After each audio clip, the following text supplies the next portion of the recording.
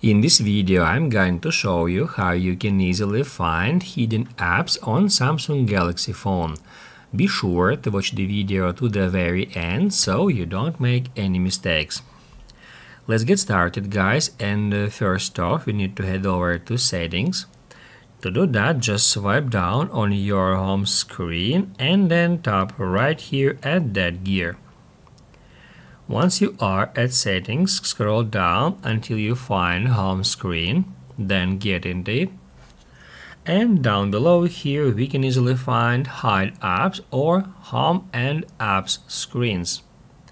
If we get into uh, that option, it will show us all the apps here that are currently hidden on your device that's where by tapping at this uh, minus sign at the top left corner of each app icon we can unhide any app.